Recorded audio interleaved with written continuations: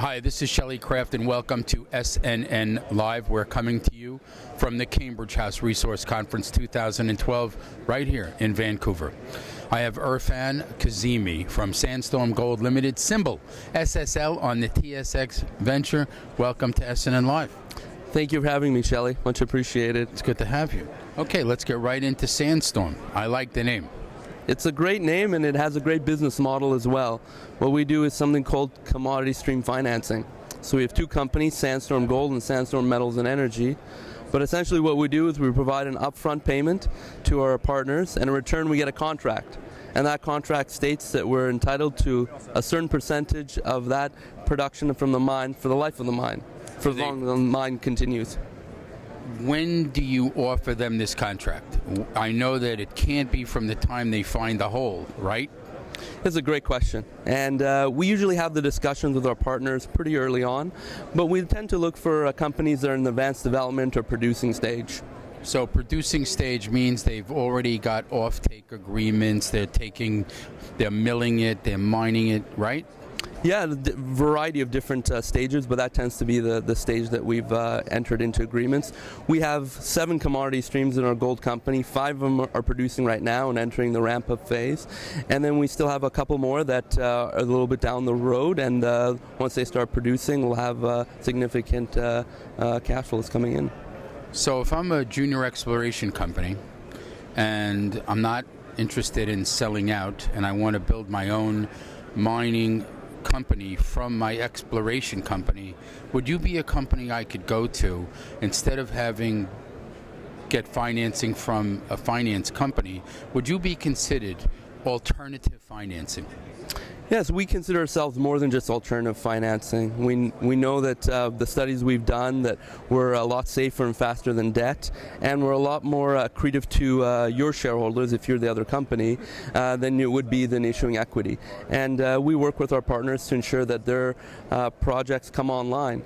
And it's, it's a it's a model that we followed over the last years. Our CEO is the former CFO of Silver Wheaton, and they took a proven and probable model from uh, from Silver Wheaton when it came just to silver and expanded to precious metals and also into other forms, so base metals, oil and gas, and uh, thermal metallurgical coal, so a variety.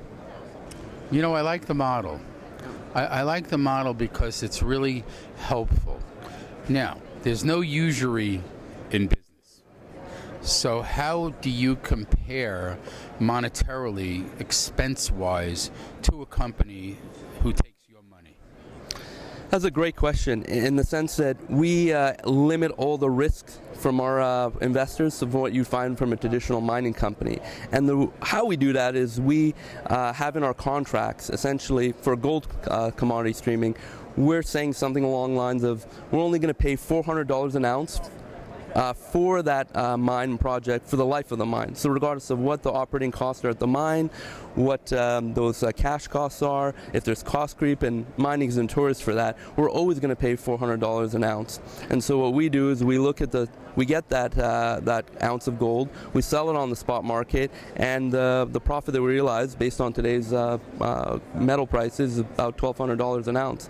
So you can see right there, regardless of what's happening with the mine, if there's um, they're going up through the ramp up phase, if they've got negative cash flows, if they've got commissioning costs, we're still always paying $400 an ounce for that uh, for that gold. So it's uh, it uh, significantly reduces the risk side for our investors. So then the risk to the gold mining company is the length that you're going to be able to receive gold at 400 an ounce, correct?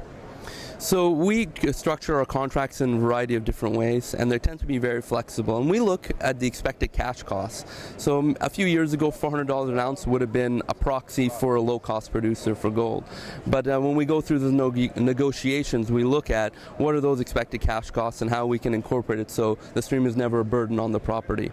Ah, that's well said. So then, basically speaking, there's probably no limitation as to how much money you would actually give a company based on their ability to pay it back via gold. Right. When we started the company a couple years ago, the um, uh, the size of transactions were in the 20, 30, 40 million dollar range, and now we look at larger multiples. And as we continue to grow, um, we're definitely seeing a lot more expansion of the opportunities that we have and the ability to invest in our partners. Ladies and gentlemen, I want you to know this is a very interesting discussion for me, your interviewer, and I hope you're happy with the questions that I'm asking because I'm drilling down a little bit here, yes, you know, because I think people are interested because a lot of companies do business with you, and from an investor standpoint, you're answering questions that they may have had uh, as to what the company that they have an investment in does. Right. Okay. Absolutely. Thank you very much, Shelley. Website. Our website is uh, www.sandstormltd, that's for limited.com. And the symbol is, it's a public company too. So it's SSL on the TSX Venture. This is Erfan Kazemi. What a pleasure to have you on. Thank you. Very Thank you. informative. Great. Thank you very much. Welcome.